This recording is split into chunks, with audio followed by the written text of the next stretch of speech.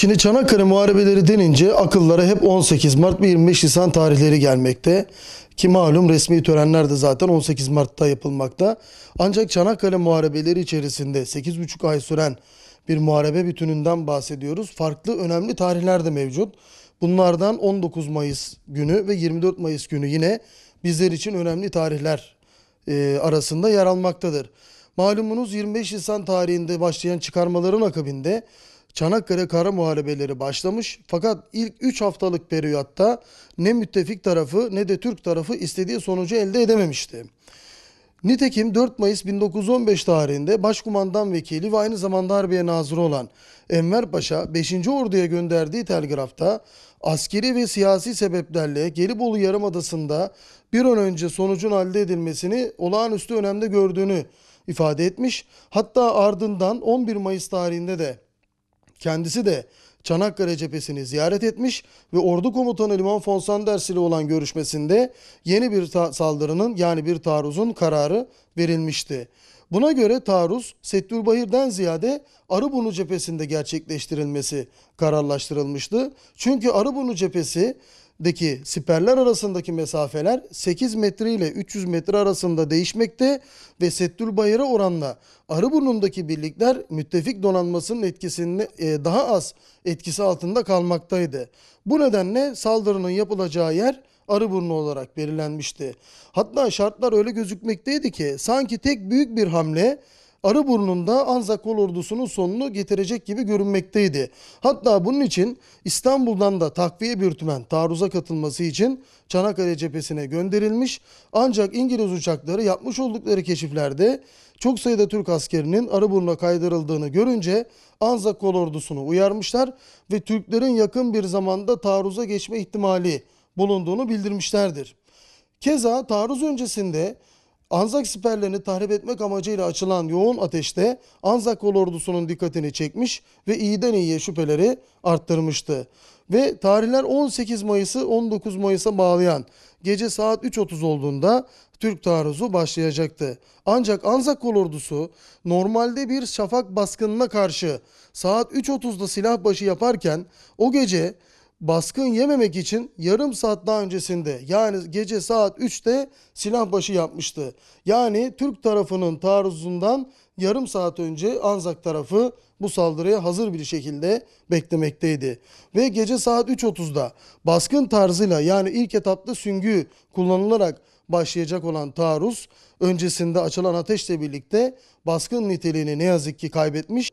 Tabi her iki taraf arasında çok fazla sayıda şehit askerin bulunması her iki ordu içinde hastalık çıkarma riski barındırdığından ve yayılan koku nedeniyle büyük bir tehlike arz etmekteydi ve bu amaçla 24 Mayıs 1915 tarihinde Çanakkale Savaşları'nda ilk ve son resmi ateşkes yapılarak o gün boyunca siperler arasında kalan Türk askerlerinin definleri gerçekleştirilmiş ve bu ateşkes sayesinde de haftalardır birbirini öldürmek için kıyasıya mücadele eden Türk ve Anzak askerleri birbirlerini ilk defa bu ateşkes sayesinde görmüşlerdi. Hatta bu ateşkes esnasında hatıra olması için işte üzerlerindeki düğmelerden veya çeşitli eşyalardan birbirlerine hatıralar dahi vermişlerdir.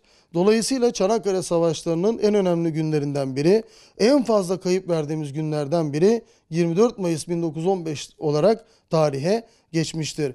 Tabi bu taarruzla ilgili biz e, bu taarruza katılan birliklerin harp ceridelerini okuduğumuzda aslında bu savaşın ne kadar şiddetli geçtiğini de görmüş olduk. Tabi biz e, bu konuyla ilgili çalışırken 19 Mayıs 1915 tarihinde bu taarruza katılan birliklerimizin, tümenlerimizin ve alaylarımızın harp ceridelerini deşifre ettik ve bu deşifre esnasında bu taarruzun gerçekten ne kadar kanlı ve ne kadar aslında aynı zamanda kahramanca geçtiğini de tespit etmiş ve görmüş olduk.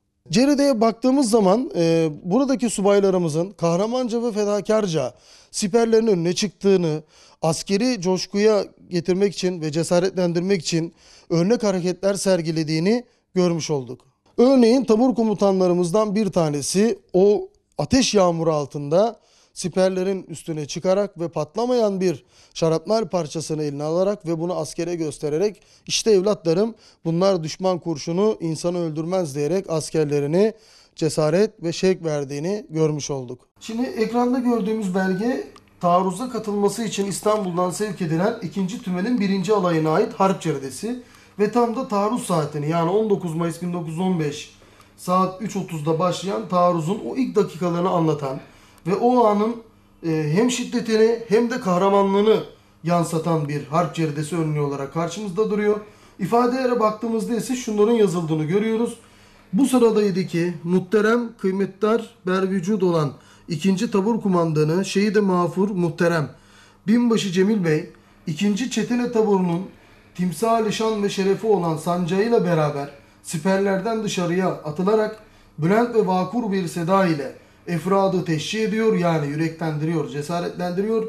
Patlamayan bir kızgın kurşun şarapnel parçalarını eline alarak ve efrada göstererek işte evlatlarım bunlar düşman kurşunu insanı öldürmez.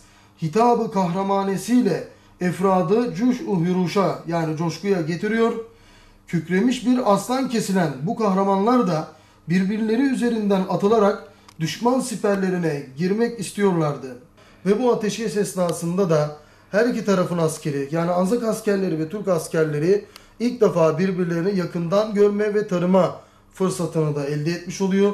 Şu an ekranda görmüş olduğumuz fotoğraflardan biri de o güne ait fotoğraflardan bir tanesi. Muharebe meydanında taarruz sonucunda şehit olan Türk askerlerini görüyoruz. Yan tarafta ön, ta, ön planda gördüğümüz şehidin başka bir açıdan çekilmiş fotoğrafını tekrardan görüyoruz. Dikkat ederseniz başında Anzak askerleri.